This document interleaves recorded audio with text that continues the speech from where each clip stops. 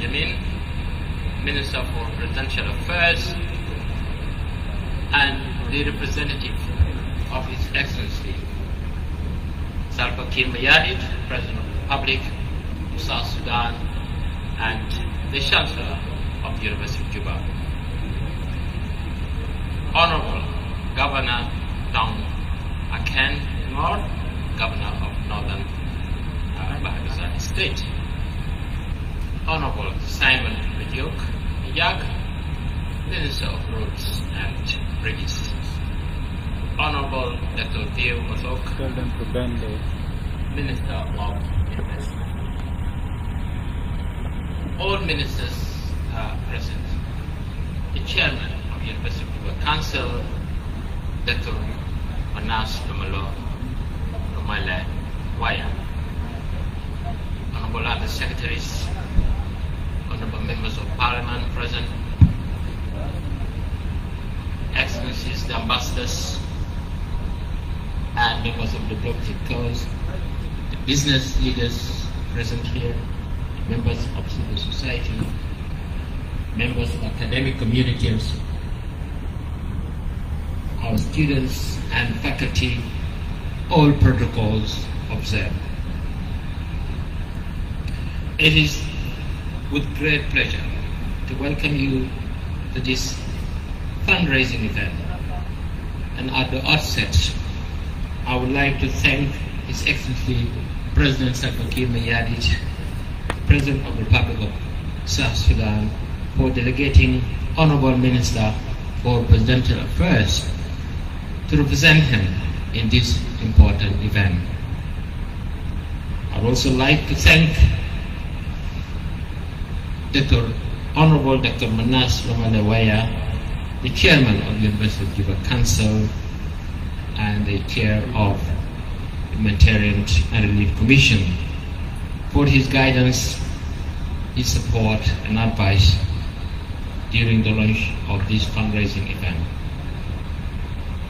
I'm very grateful to Professor John Myrie Blackins and his most able team for working tirelessly organize this event. I know so much work that has gone into this effort.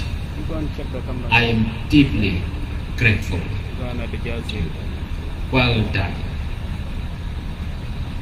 Honorable Dr. Barnaba Marial and our guest of honor, distinguished guests, ladies and gentlemen, great universities do not just happen fall from the skies. They are made to succeed. The people managing them and the economic environments surrounding them contribute to their stagnation or cause to their rise to the top. In academic circles, we often speak of here syndrome. And this is the desire by many countries to have in their backyard universities of stature MIT, Stanford, Harvard, Oxford, Cambridge, Chicago, ETH, Zurich, UCL, Cornell, Edinburgh, Yale, Columbia, Imperial, Duke, Johns Hopkins, Tokyo, Peking, and such like. These are a few names gleaned from the list of 1,000 top world-class universities by QS World University Ranking 2020. They were named here and selected for their excellence in teaching and high impact research output. Being absent from the top 1,000 global universities, however, does not mean that. It doesn't mean the end of the road for a university. The global higher education market has over 25,000 universities and is still counting. India, United States, China, Indonesia, Brazil, Russia, and Japan lead with a combined lion's share of 17,000 universities between them. And that forms about 70% of recorded universities in the world. Many universities across the globe are serving their communities and helping the nation to weather competition in knowledge-intensive sectors of global economy. Although some universities are doing better than others. National higher education policies and financial efforts afforded by the government to support teaching and research and infrastructure development play a great role in determining how universities thrive. Successful universities are ones that do better than their circumstances might have allowed them to, or those who are able to punch above their weight, according to Michael Shattock, the, uh, of the University of Warwick Business School and visiting fellow at the Institute of Education, University of London, and also a member of Oxford University Global Higher Education Research Group. Michael Shattock holds that success does not happen overnight because of a one-off critical decision by a manager, but comes about as a result of university managers taking many small but right decisions over a long uh, period of time. These decisions reinforce one another to produce cumulative effect that sustains the organization in upward trajectory. Furthermore, increasing reforms, increasingly the reforms are being enacted in many jurisdictions that require that universities act like businesses, agile and capable of allocating their resources efficiently and effectively, to do more with less, and to respond quickly to ever-changing operating environment and the implication of globalization of higher education, the ascendancy of digital economy, and the advent of the fourth industrial revolution.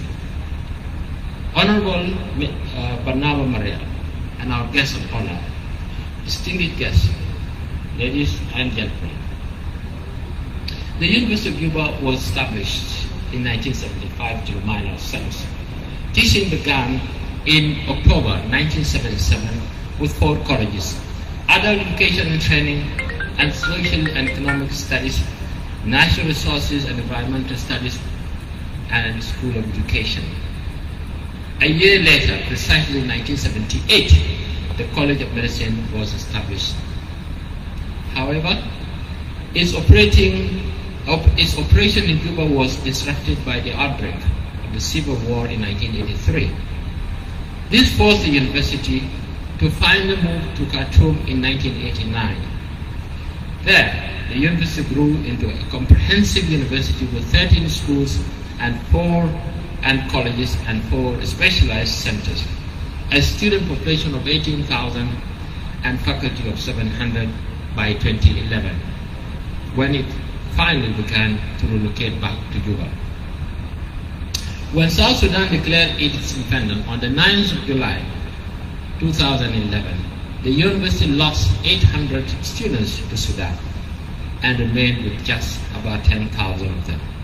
The number of academic staff plummeted from 700 academic staff by June 2011 to about 139 by July 2011.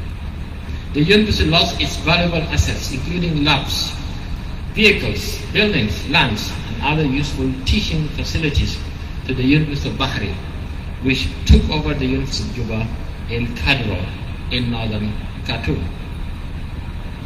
By 2014, when I came into the administration of the University of Juba, there were about 10,000 students and 29, uh, 291 academic staff, slightly higher than 139 in July 2011. In December 2014, the University of Juba Council, under the able leadership of the Reverend Clement Janda, passed a 15-year master plan.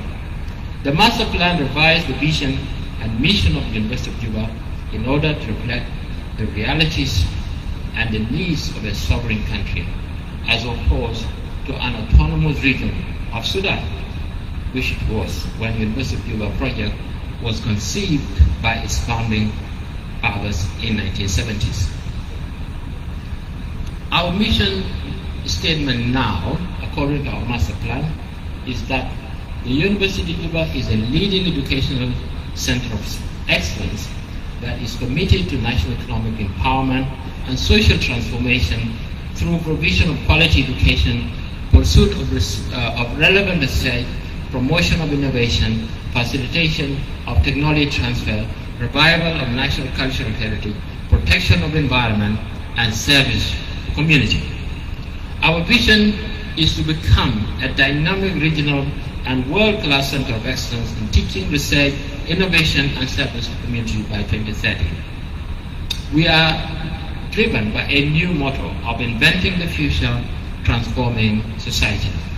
Our core values includes encouragement and cherishing of free and independent thought, celebration of scholarship, excellence and creativity and initiative, working as a team, maintenance of inclusive, safe and clean working environment for students and staff, providing equal opportunities to all, and university autonomy.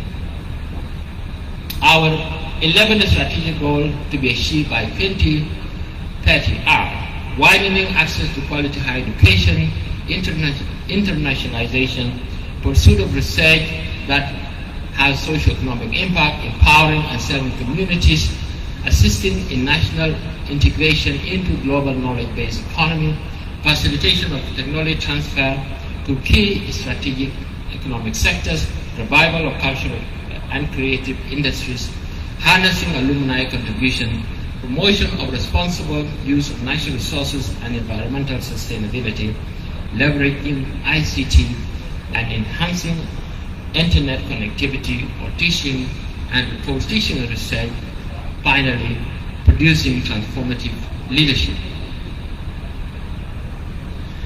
Honorable Barnaba Marial, our guest of honor and representative of the Chancellor, distinguished guests, ladies and gentlemen, with our mission in mind and guided by our vision 2030, the University of Juba has made progress towards attainment of its strategic goals, especially in widening access to quality higher education.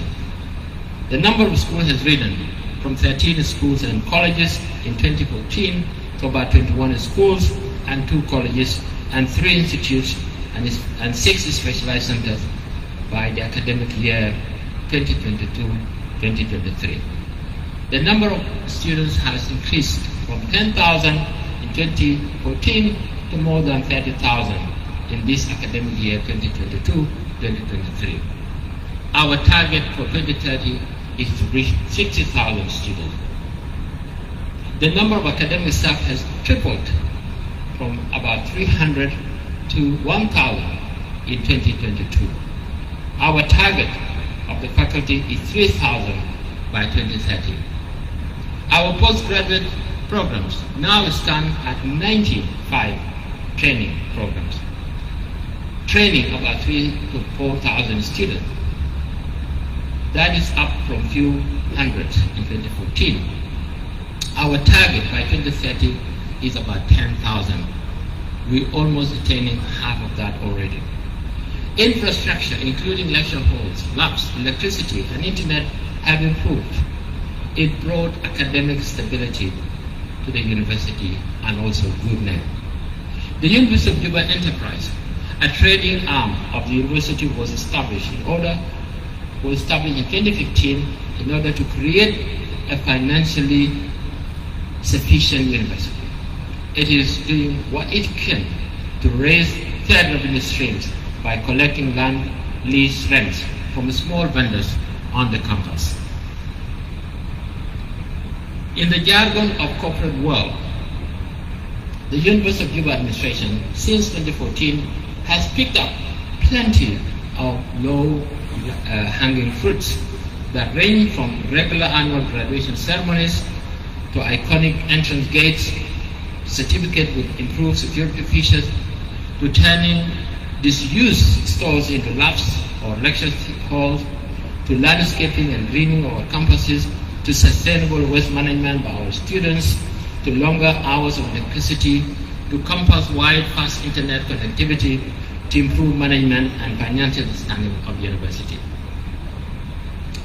And all this is great and good. Yet, our expansion in student numbers and number of programs has not been matched by the expansion in educational and research infrastructure, including serious shortages in lecture halls, spaces, well supplied libraries, labs, office spaces, and student accommodation because of financial constraints. Between 2020 to 2021, our union rank, the of Juba, position improved markedly by 600 places up just between 2019, you know, 2020 21. That's 600 points up the rank of world ranking. At the moment, we number 300 out of 1,000 registered African universities, or we are added in the top 30% of highly ranked African University. We can do much better than this. I'm sure you recognize. It is therefore our goal to move the University of Juba to, to be among the 100 top universities in Africa in three years. And that is to be in the top 10%. And in order to achieve this goal, we need to markedly improve our infrastructure because of low tuition fees that we are collecting from the students. The Senate of the University of Juba passed several resolutions in September 2022. This included adjustment of all tuition fees to inflation, revised tuition fees for privately admitted students, and imposition of $100 development fees on all our students, undergraduate, diploma, and postgraduate. The aim is to raise, and it was explained here earlier, 3 million US dollars of financial resources to supplement the low tuition fees students are paying in comparison to the region in every financial year. This will accelerate infrastructure development and enhancement of learning environment in our university. We will also be able to develop new programs and accommodate an increasing number of students who are longing to join the University of Juba as students. This year, we plan to construct a lecture hall complex that can accommodate other amenities such as central, central library, computer labs, and printing services, seminar rooms, business spaces, food courts for students, staff, and you know for our staff and visitors. And we aim also to, to maintain and expand girl hostel as one of our top priorities in this financial year. The capacity has already been explained that at any single time we'll be able to educate 4,000 students in various sizes of the hall and we'll be able to seat about uh, 100, uh, 1,000 seats in our libraries and we'll have a very compact social space including business areas, computer labs, and so forth. The amount raised in this fundraising event will reduce the burden on all our students. For example, as it was explained, if we raise 3 million US dollars, our students will pay, only pay their tuition fees. If we raise 1.5 million, our student will only pay the remaining 50%, meaning each student will pay $50 or its equivalent in SSP on the top of the tuition fees. We do value your financial and moral support, and I really want to thank every one of you who have turned up today to support us. You have really exceeded my expectation. Please give yourself a clap. Thank you. I now have the honor of inviting the chairman of the University of Council, Honorable Dr. Manasseh Lomale Waya, to deliver his remarks and to later to invite our guests of honor. Thank you again.